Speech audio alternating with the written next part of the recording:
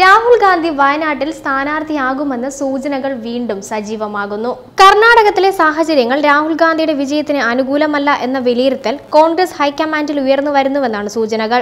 രാഹുൽ ഗാന്ധിയുടെ സ്ഥാനാർത്ഥിത്വത്തിൽ ചർച്ചകൾ മുന്നോട്ടു പോകുകയാണ്. രാഹുൽ ഗാന്ധി വയനാട്ടിലും പ്രിയങ്ക ഗാന്ധി വാരണാസിയിലും മത്സരിപ്പിച്ചുകൊണ്ടുള്ള തന്ത്രമാണ് ഹൈക്കമാൻഡിൽ ഇപ്പോൾ ഉയർന്നു വന്നിരിക്കുന്നത്. രാഹുൽ ഗാന്ധി വയനാട്ടിൽ മത്സരിക്കുകയാണെങ്കിൽ അദ്ദേഹം സുരക്ഷിത മണ്ഡലം തേടിപ്പോയെന്ന് ബി പ്രചാരണം നടത്തും.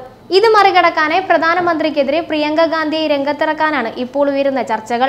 കഴിഞ്ഞ ദിവസം ഇക്കാര്യത്തിൽ നിലപാട് വ്യക്തമാക്കിയിരുന്നു. തെരഞ്ഞെടുപ്പിൽ മത്സരിക്കുന്നത് സംബന്ധിച്ച ചോദ്യങ്ങൾ. ഉയർന്നപ്പോൾ എന്തുകൊണ്ട് വാരണാസിയിൽ മത്സരിച്ചുകൂടാ എന്നാണ് പ്രിയങ്ക പ്രതികരിച്ചത്. പാർട്ടി ആവശ്യപ്പെട്ടാൽ മത്സരിക്കുമെന്നും അവർ പറഞ്ഞിരുന്നു. ഇതിന് പിന്നാലെ മത്സരിക്കണമോ വേണ്ടയോ എന്ന് തീരുമാനിക്കേണ്ടത് പ്രിയങ്കയാണെന്ന് രാഹുൽ ഗാന്ധി പറയുകയും ചെയ്തതോടെയാണ് ചർച്ചകൾ ചൂടുപിടിച്ചത്. വാരണാസിയിൽ പ്രിയങ്ക ഗാന്ധിയെ മത്സര രംഗത്തിറക്കിയാൽ മോദിയെ മണ്ഡലത്തിൽ തളച്ചിടാനാകുമെന്നാണ് കോൺഗ്രസ് കണക്കുകൂട്ടുന്നത്. ഇത് മറ്റ് സീറ്റുകളിലെ ബി ജെ പിയുടെ സാധ്യതകളെ കുറയ്ക്കാൻ കോൺഗ്രസിനെ സഹായിക്കുമെന്ന് കണക്കുകൂട്ടുന്നു. അന്വേഷണം ഡോട്ട് കോമിന് വേണ്ടി അനോമ തോംസൺ.